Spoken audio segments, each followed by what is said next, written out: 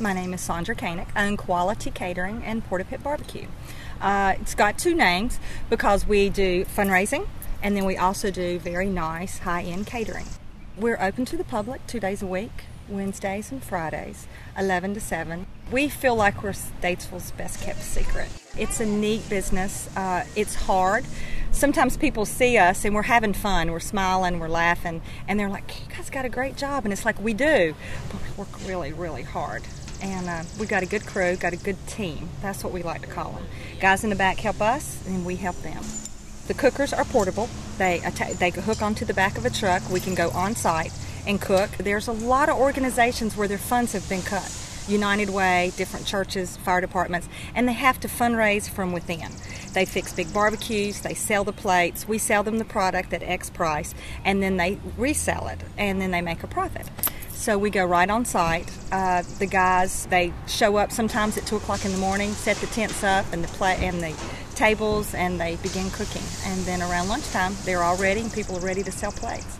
But it's a great fundraiser. sells itself if you uh, if you say you've got Port-A-Pit, it's a registered trademark, and you know it's us. It's got to be us. So you won't find us everywhere. You know, we're very special. Uh, the chicken's always consistent. If you eat a piece of chicken today, and in two weeks, if you are somewhere else and you eat a piece of Porta chicken, it'll taste exactly the same. Uh, we cook pork ribs and we smoke barbecues, shoulders, pork shoulders, and pork butts. Uh, the chicken, the guys put it on the cooker. It rotisserates over the charcoal down into the sauce, and that's what gives it that golden, almost a little blackened color. And it remains very, very juicy. Takes an hour and 15 minutes for a round to cook. So it cooks slow and it dips every time it goes around.